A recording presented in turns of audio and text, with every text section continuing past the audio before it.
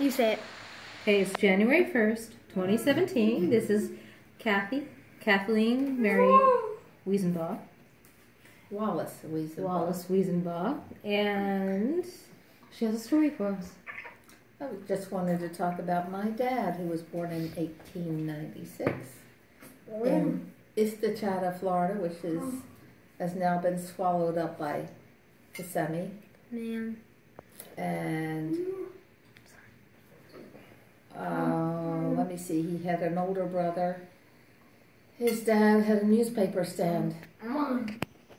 And I think the dad, his dad used to, Ben Wallace used to hmm? be, It's okay. I think, a trapper, French trapper. And his mother was a Cherokee Indian. And Native American. Cherokee Indian. I like that term. I'll use mine. Yay. I don't like to be politically ah. correct. Sorry. That's what they ever that is called today. Okay, now I diverge. No, you do.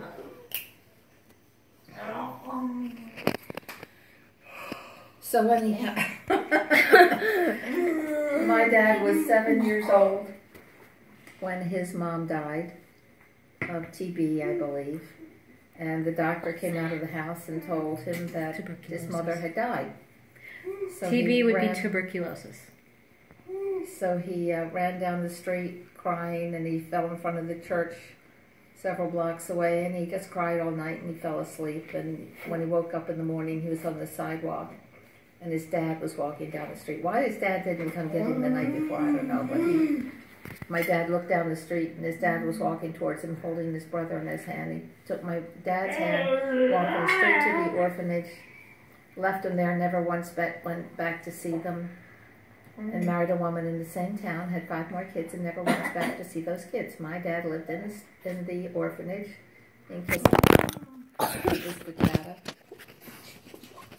And steady.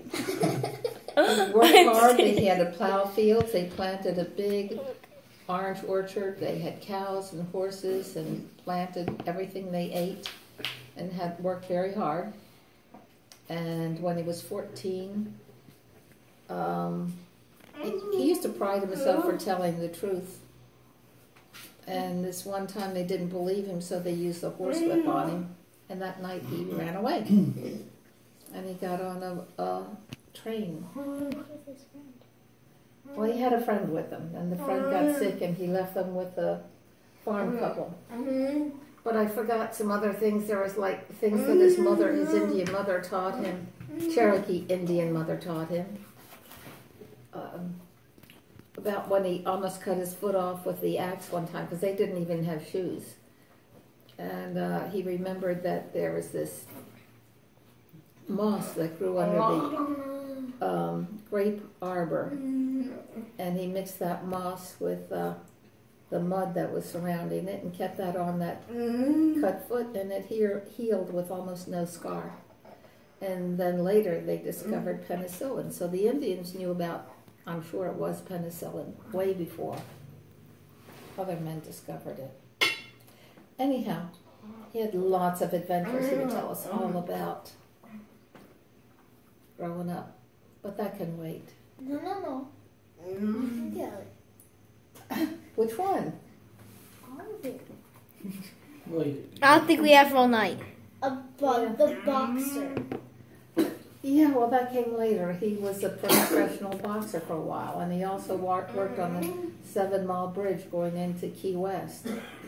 And that's when he went to navigation school, put himself through navigation school, and he became a, um, got his captain's license, and then he had a fishing boat, and he started making money, and with that money, he went to navigation school again and got his master mariner's license. And then World War One came along, and uh, he was a merchant marine captain, and then they uh, he uh, sailed ammunition across the Atlantic in the war. Very dangerous. Oh. Torpedo Run. Then he was a captain mm. again in World War II, but he had lots and lots and lots of adventures that he would tell us about all the time. Very dangerous. Oh. Maybe he'll remember some of those we can record later.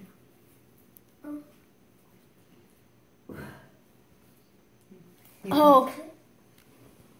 Thank you. Who would remember? Wait, so my great